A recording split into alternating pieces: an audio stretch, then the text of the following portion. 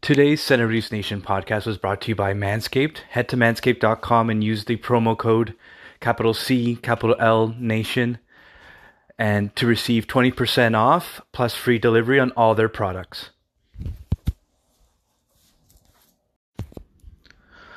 Welcome to this podcast of Sensation. This is Pat LaRusso, soon be joined by my co-host Anthony Sino, Lucas Ugenti, and our brand new teammate uh, Blair Barton. We'll be looking at the upcoming season for the Maple Leafs and so much more.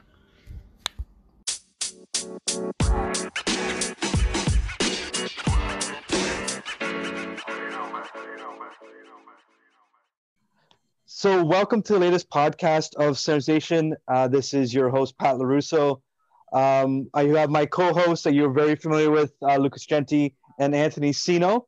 Um, but before we start off in our in our latest podcast for 2021, I do want uh, to introduce our brand new co-host and uh, contributor to the blog, Blair Barton. Blair, welcome to the team. Thanks, Pat. A long-time listener, first-time caller. well, Blair, you know what?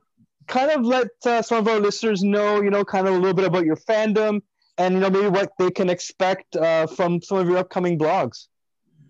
Yeah, I mean, uh, first of all, super excited to, to be with you guys and work on this. Like I uh, have I have been following you, and, and Pat, I've known you for about 16 years. So, uh, you know, this is this has been great. Um, working with you the last few weeks, kind of getting ready to to preview the season. So, um, as far as uh, writing goes, I mean, I'm a I'm an old old school kind of guy, like uh, you know, Pat Quinn teams and uh, you know Gary Roberts and Darcy Tucker and, and that kind of stuff. So um, you know, I just I, I, like to see a good, great, balanced uh, team, and and uh, you know that's that's what I'm looking towards for the kind of new era of, of the Maple Leafs as well. Although it's not the rough and, and tumbly one, it's uh, it's a great team and um, great organization, and uh, just happy to be able to talk about it with you guys.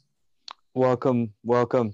Um, so you know that kind of really takes us into you know our first blog for 2021 um, where you know I, it was kind of like a season preview. I love doing these because you know the, the starting of the year, training camp, and and all that is there's all this hope and excitement. Um, you know they haven't played any games. Um, there's nothing really to bitch or complain about yet. Um, but um, I did pose oh, a couple of. Come on, you know there's always going to be something from from our uh, from this fan base. Come on. That is that is true, and you know, seeing that some people were complaining about the corporate logos and why Scotia Bank's logo on the white helmet isn't blue, and oh you know what, it it you can was, hardly see it. I, you know, I, at this time, the, the one person that, that can't can afford to lose money are the banks, right? So. It, if anything, we should be happy that the money is going back into our sport, and and you know the players will have access to all the things that you know that, that they're able to have. And i think it's fantastic that they that they're finding a new way. And it's tasteful. It, it doesn't look bad. I no. it. no it doesn't it doesn't take too much away. Um so i'm gonna pose this first question to you all and then we'll kind of take turns. You you know maybe you can go first and then we'll go anthony and then lucas. Um but I, one of the biggest questions coming into this season, and, and we saw a little bit, or actually a lot of it last year, was this like Dr. Jekyll, Mr. Hyde um, complex from this roster. Um, but, what do you think about the changes made in the offseason and how do you think that that will impact, you know, some of the inconsistency in play that we saw last season?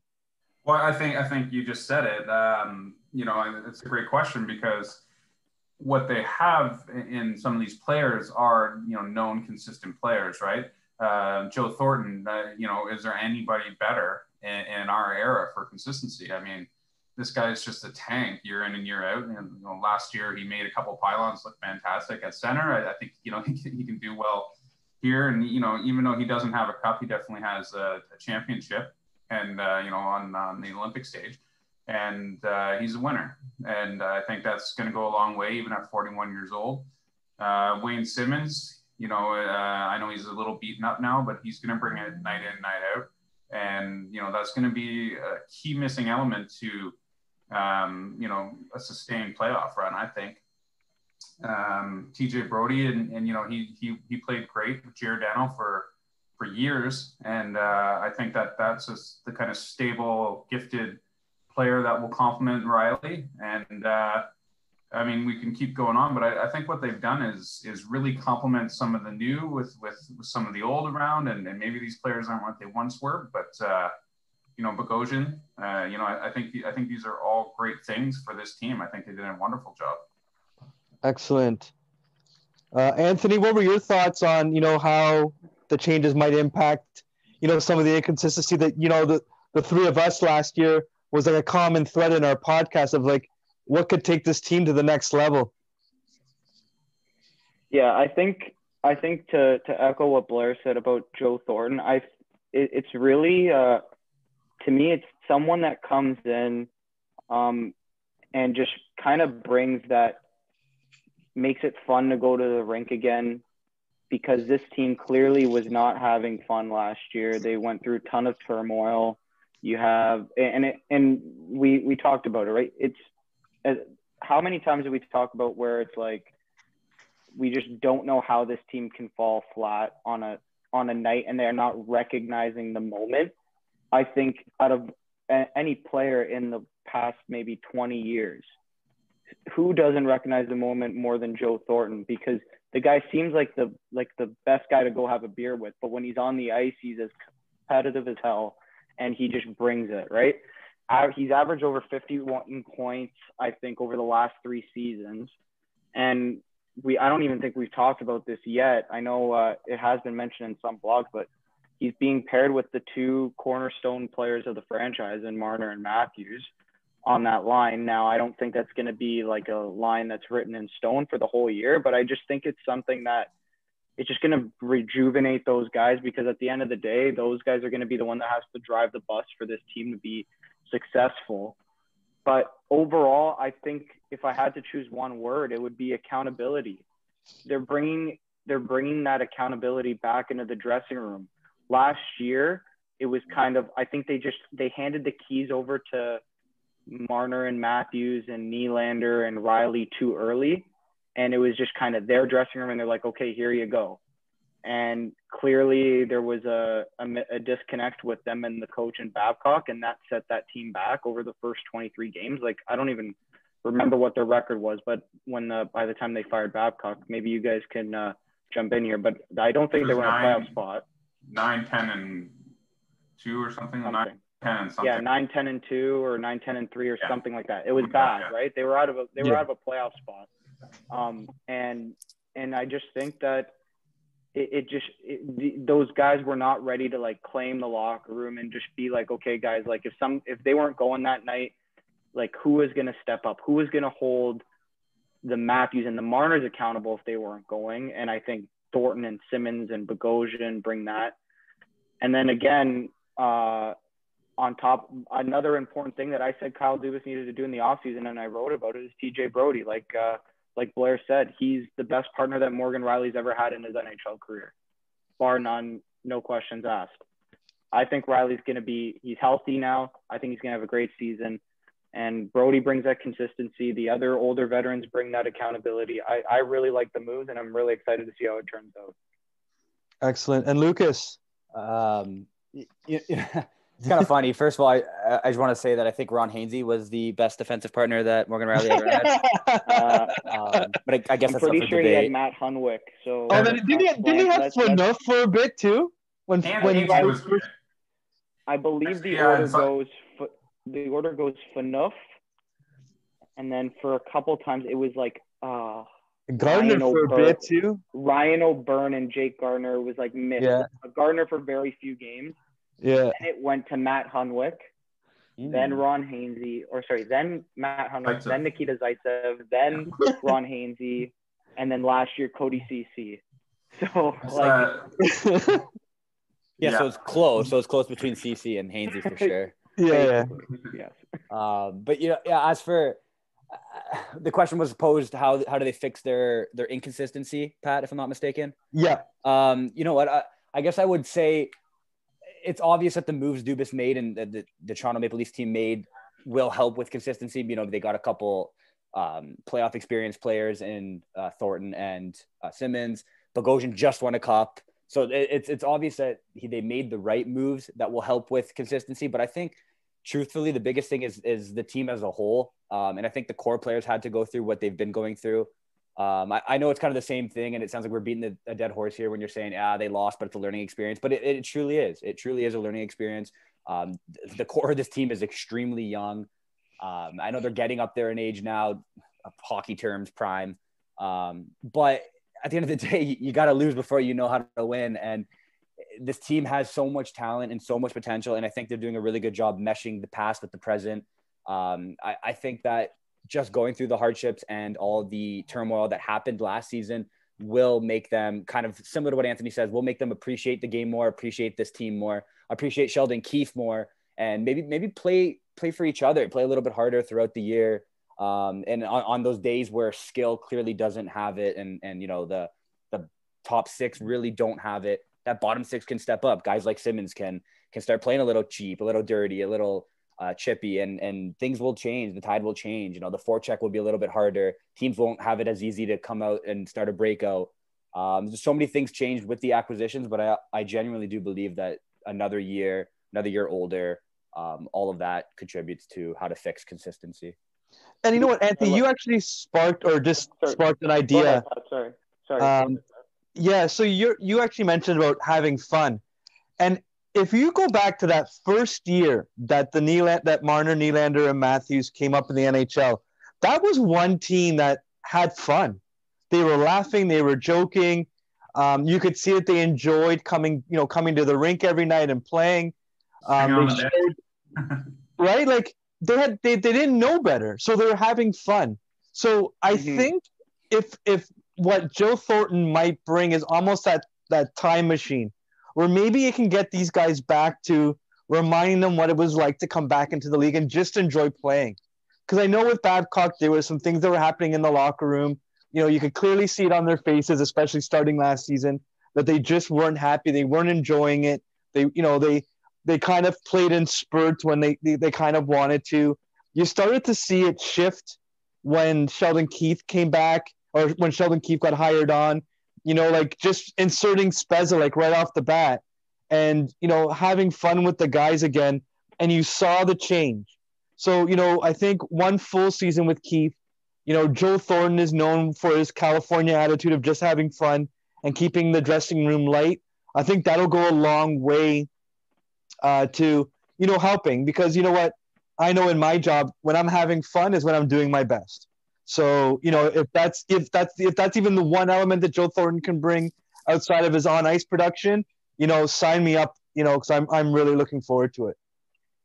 I think I think Pat, what you said there, just to jump in on on the having fun one more time, and and I just thought of this now with Joe Thornton is I think what makes Joe such a like a lovable guy, like you see in the in the scrimmage, right? They're they're having just a complete blast. It's a blue and white scrimmage. They just score one goal, and Joe's hooting and hollering, right? I think what Joe realized a, a, a quite a few years ago, I would say maybe five six years ago, just before San Jose made their their cup run, I believe in 2016, where they lost to Pittsburgh, is I think Joe realized, look, it's hard to win in this league at the very least, aside from giving it my all every day, I'm just going to go and make my teammates have the best possible experience when they're at the rink. And I think that that that was lost, like you said, and and to tie that into what Lucas said about them playing for each other, I think that what what uh, Jumbo is going to bring is will go a long way in that. How many times last year, and I and I remember a few instances is where one of their players, one of their guys gets hit hard, or maybe it's a little cheap shot from the opponent, and there's no snarl back. Now, I'm not asking Auston Matthews to drop the gloves and fight. I don't want him to, but I want him to at least go and tell that guy where to go or do something because not for anything other than it shows that like you care. That's that's a teammate of mine. I care that you tried to like hurt him, right? we go back to the bubble. Jason Spezza is the one that has to drop the gloves and fight to spark that uh, crazy comeback, I believe, in game four, right? So it's just, it was little things like that last year that I think the new additions can can help avoid those, help putting the Leafs in those bad situations and they can just remain more consistent through the regular season. Yeah, I, I think one of the things that Joe um, really brings to the table, and, and he, there's two sides to him um, from, from what you hear. Um, obviously, the fun-loving guy, he, he keeps it fun. Um, the, the other intangible that he, he does bring, other than obvious, you know, world-class skill, is um, he takes his, his training very seriously, and, and he's he refuses to stay off the ice on on game day. He always takes a game day skate. Um, that's that's one thing that that uh, he never, which is tough. You know, you kind of want to manage his time on ice. Uh, that he doesn't need to be there. So obviously, eliminating the game day skate for a 41 year old Joe Thornton wouldn't be the worst thing. But uh, he, he loves to get out there, and he, and he and he is having fun every day. And you can see him out there just stick handling and everything, and, and just his t-shirt and his gloves, and and uh, you know, reminding these guys to get up and you know hone your craft a little bit, have some fun with it. You know, have a couple coffees, head to the head to the rink, joke around with the boys, and go home and have a nap, get ready for the game. But um, just all these little things, I think that he that he adds is uh, you know just it's just a win. No, most definitely. That actually plays really well into the second question that I posed, and you know, it's kind of funny when we think of inconsistency. One of the biggest things that we saw with last year's team, more specifically, is when the team faced adversity, when their backs were up against the wall, nine times out of 10, they buckled. It seemed as if, you know what, they, they mailed it in the, the last 20 minutes, 40 minutes of the game, and they were done. Like you could just tell they just weren't working. So I, I would kind of like to get your view on, you know, and, and it could just be an extension of the consistency issue that we saw and, and, you know, how some of these new players and some of the, the incumbents might come about, you know, over overcoming those. But I also want to get your thoughts on, how do you think this team, in especially in a condensed schedule that, that they're going to be facing, how can they overcome their uh, overcome adversity? Because a lot of it does come from confidence, and and I kind of want to get your thoughts on, you know, maybe what it what it what it might be like in that dressing room if they do lose a couple games in a row. You know, does it does it snowball and does it impact the rest of the season, or you know, or or is there going to be some pushback? And Lucas, I kind of want to get your thoughts on this first, and then we'll go Blair and then Anthony. Well, oh yeah, I mean, I think it kind of coincides with what I was saying earlier, just in in, in terms of experience in general, and, and you know, already battling through the demons and turmoil of last season. Obviously, they gained experience on that, and they know how to go th- or push through certain aspects of of tough parts of the season. But uh, uh truth, truthfully, I also do believe that the the certain turmoil the team faced last year will be different than what they're going to face this year. I can't foresee them having a coaching issue. I think the the actual locker room um, culture is different. I think that obviously the addition of Joe Thornton and these guys do change the culture in the change room. And, and I just think that the team itself this year has a, a complete different vibe. And I know it's a funny word to, to use in this in this case, but it, there really is. It's a different vibe. It's a different feel. It's there aren't as many question marks on the actual roster as it is as there was last year in the sense where we're guys like Johnsson going to take the next step. What's Kapanen going to take the next step? Obviously, they didn't did per se. Depends who you ask and what time you ask them at. But I, I mean, I, I just think that this roster is so different from last year's roster. Um, they have the ability to overcome, uh, like I was explaining earlier, the, ter- the certain turmoils that could they could face this season, especially with the guys like Simmonds and Bogosian. You know, like Anthony mentioned, uh, guys getting plastered into the boards and no one doing anything about it. I highly doubt Wayne Simmonds is going to let Auston Matthews get hit into the boards awkwardly. Things like that are going to change, and it changes the culture, it changes the atmosphere of the team. Um, and I just think that they will play for each other this year. And because that because the team will be a lot closer and and they will want to play for each other, that the adversities that they will face, you know, they might they might defeat it easier. They might defeat it a little bit uh, with less of a challenge because they are so close together as a team um, and playing for the Toronto Maple Leafs. Most definitely. And but sort of, what are your thoughts on you know this team's ability now with the new roster, new makeup, um, you know, in their ability to overcome adversity? Well, I, I think like uh, Lucas summed it up uh, pretty well. I think you know they they lose consistency, they lose focus. Uh, it, it, feels like that you know they're so kind of offensively driven that that it's it's almost like a video game to them. And then and then when things get serious, it's um, they lack that battle mentality that you need to close out a game and close out a series. And uh, it when things don't go their way, you know, you don't you don't see them finding ways to win, right? And and that's that's what it comes down to. These big games, it's it's just the, it's the lack of focus and and uh, you know looking for that highlight And when sometimes they just need to make a play or make a hit or, or hold the puck in the corner, like, you know, like Hyman will do, but there's not enough of that on this team. And, you know, with, with you know, adding Bogosian and, and Wayne Simmonds, um, certainly will, will bring some more of that. And, and, you know, they have so much talent that with some of these character things that they've done, I think they've addressed it. And I, and I think that the team will be more consistent. And maybe it might take some time to gel, just get to used to each other. But I think in the playoffs, you might see a little bit more jam and a little bit more willingness to respect the outcome of the game rather than your own play. Most definitely. And Anthony, what are your thoughts on, you know, battling adversity and, you know, how that could impact the season?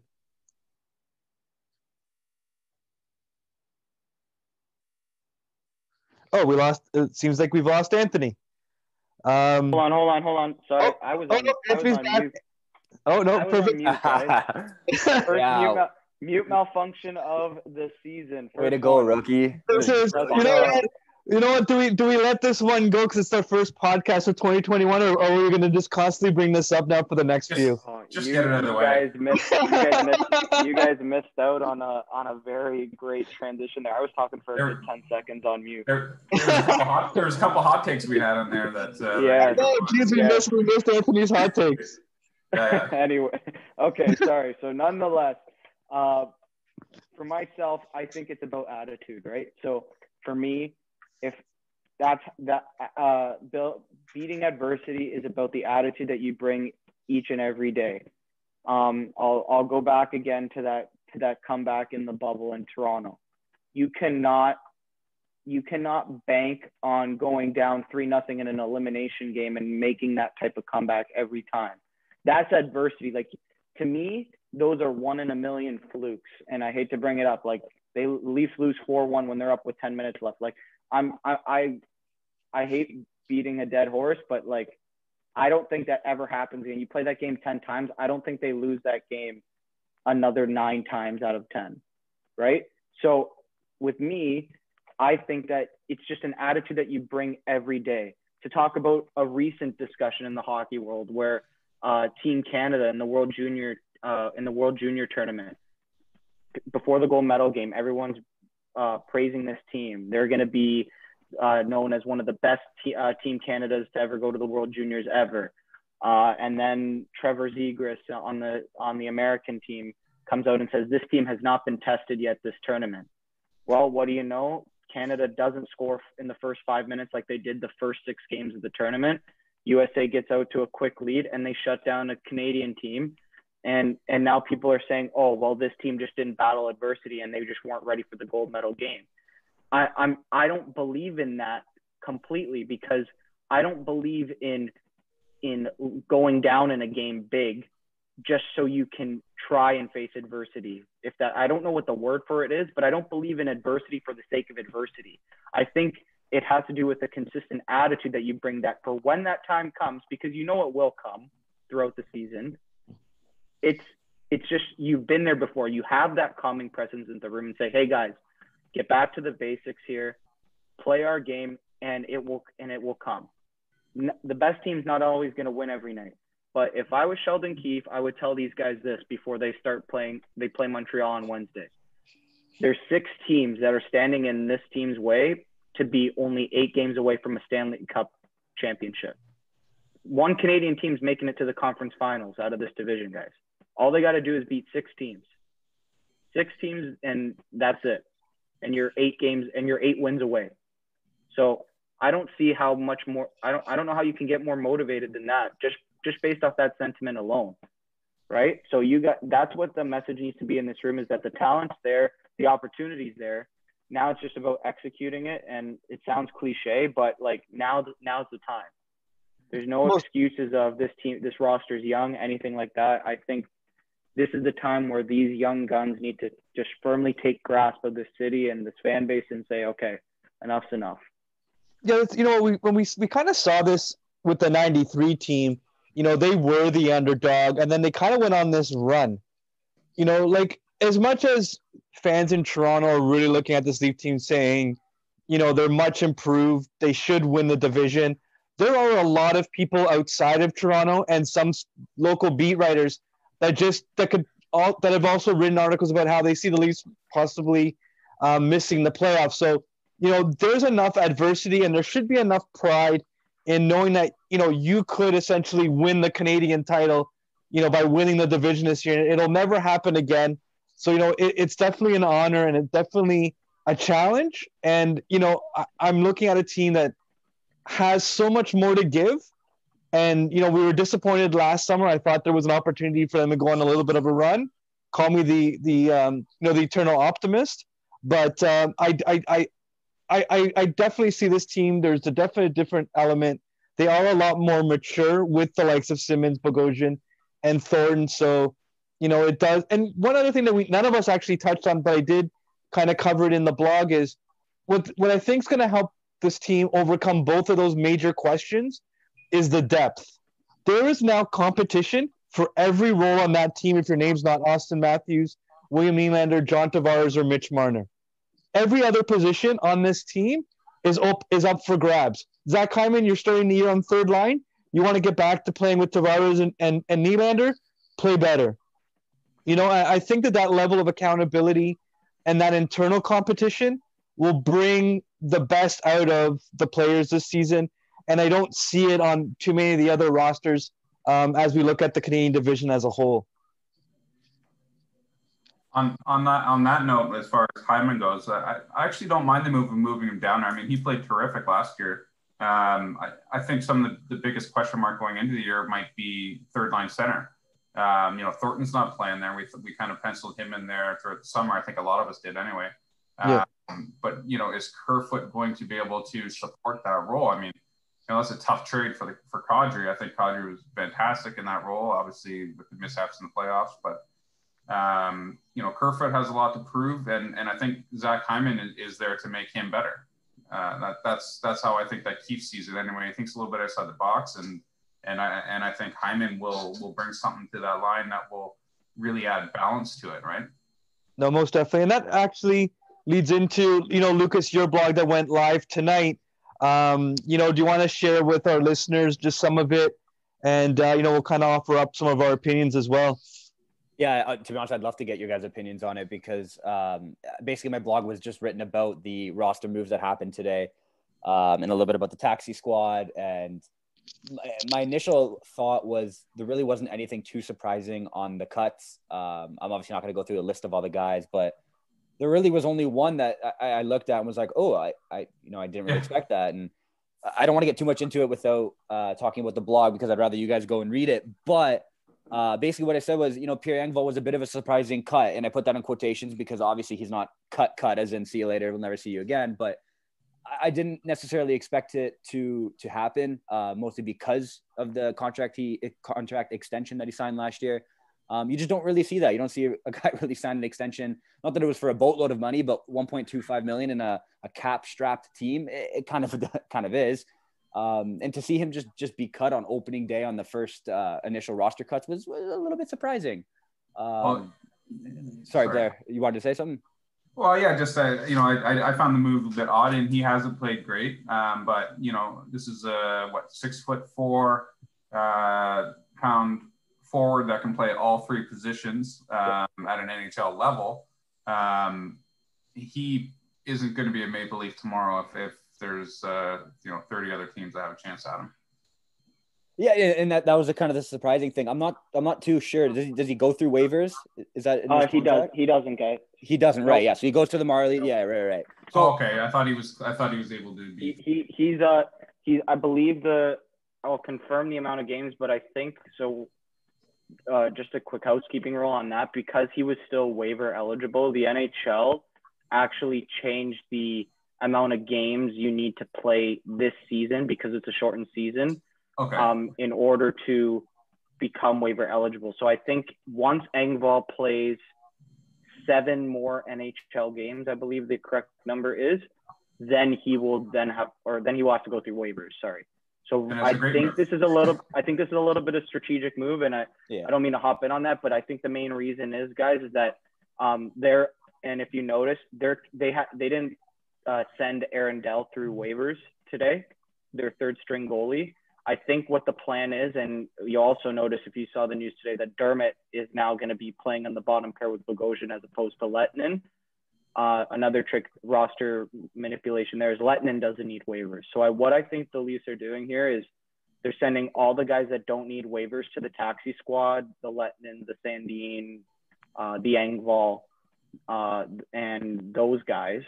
And they're going to keep Dell on the main roster as the third goalie keep no extra skaters, and they're just going to go with a 21 man roster with the Aaron Dell as the third goalie, and then they're going to try and maybe sneak him in through waivers uh, later in the week or maybe next week because I think right now if you send Aaron Dell through waivers, a team that needs a goalie like New Jersey who just lost Corey Crawford to retire retirement, they would claim him. So I think there's a little bit of a, a some jockeying there for Dubas. Yeah, there's a little bit of yeah. jockeying there. They're trying to be smart with it. They're trying to be cute with it. Because ultimately, what's the difference between Dermott and Lehtonen in the opening night lineup, right? So I think they're just trying to keep that third goalie strong.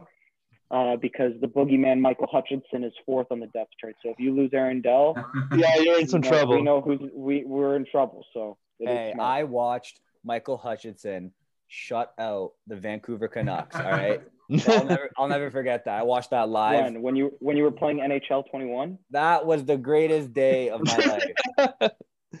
no, it uh, and my, my biggest shock was was Lehtonen going down. But Anthony, you do make a good point about uh, you know Dubas and the Leafs really leveraging and being creative with the taxi squad because I thought he had a really good um, scrimmage game, blue and white game. You know, he put the puck on net. Um, he got he picked up a couple of assists. Um, he didn't really look out of place, mind you. You are playing an inner squad game, so I know it's going to be different once the regular season takes off.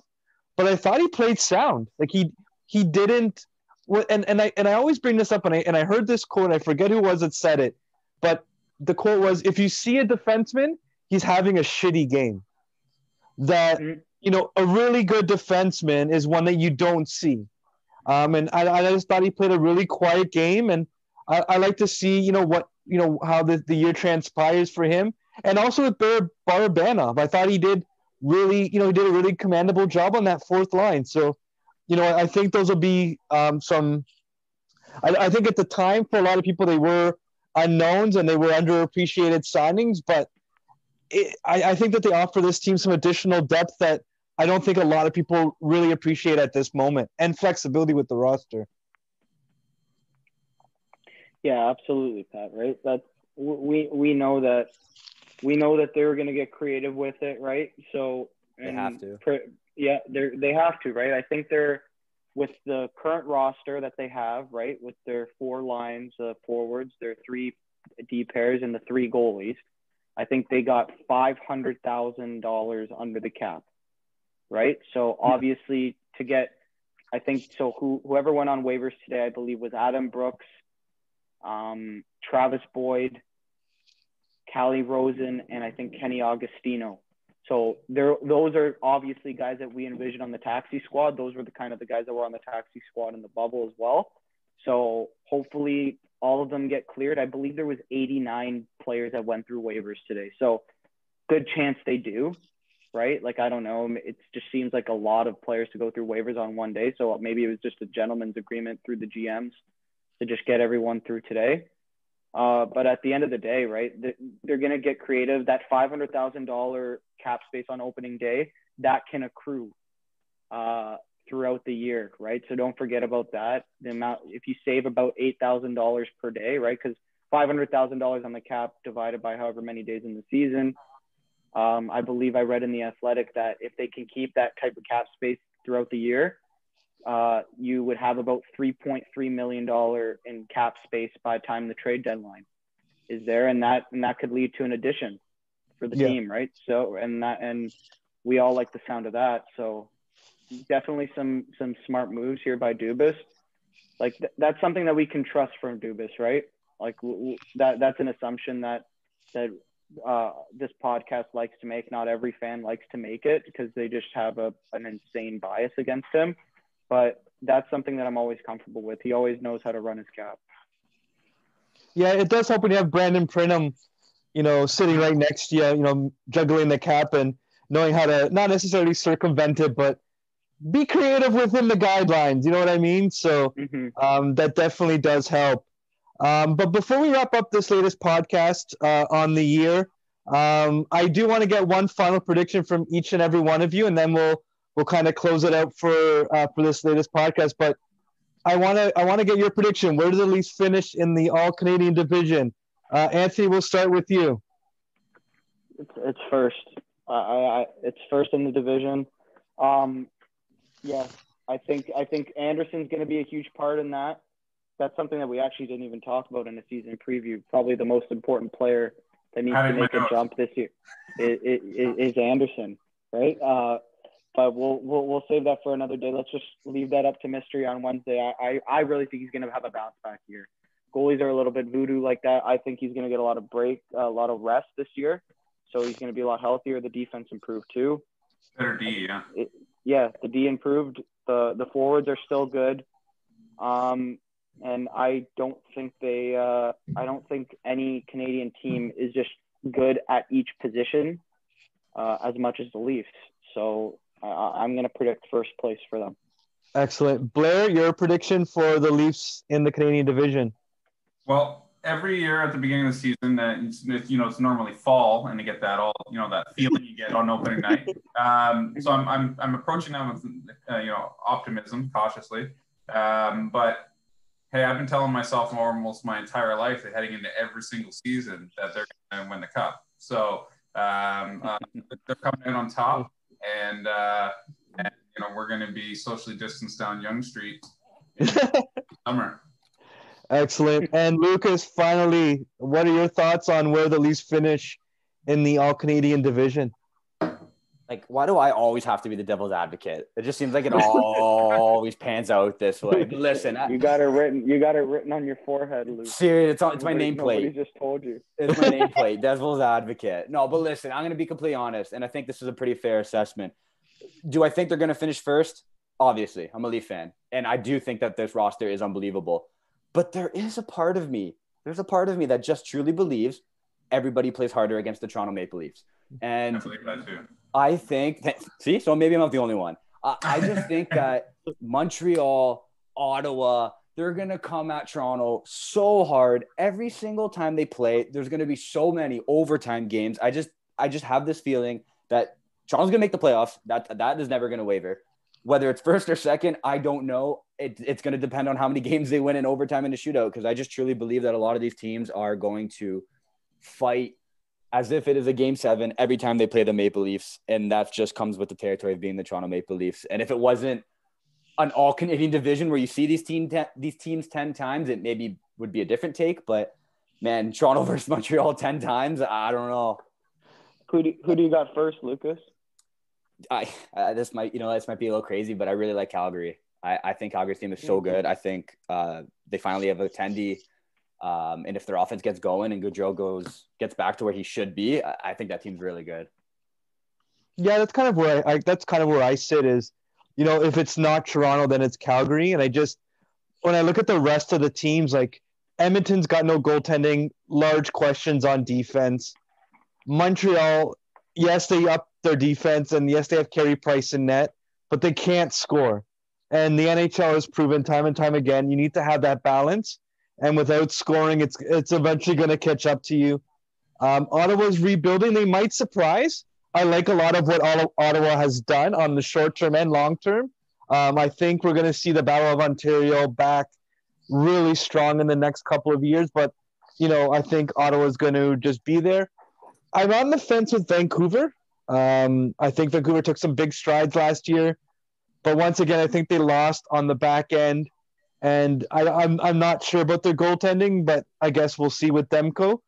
Um, but no, I, I I have the Leafs as number one. If I'm gonna have a number two, or if it's gonna flip, it's gonna be Calgary, Toronto. That's those are the two teams I'm gonna watch the rest of the season. Um, so, gentlemen, this has been fun. Blair, welcome to your first um, podcast, and hope you enjoyed it. Yeah, great time. Thank you, guys. And to all of our listeners, um, you know, continue to look out for us every Tuesday on Spotify and everywhere else where you listen to your favorite podcasts. Um, as well, you're going to be seeing some major changes with the Centre of Leafs Nation blog. Uh, we'll be launching a brand new site. Uh, we're hoping by middle of February. Look for all the major announcements on our Facebook, Twitter, and Instagram accounts. Thank you guys again, and we'll do this all next week. Cheers. Take care, guys. Take care, guys. Appreciate Cheers. it. Take care, guys. You. You.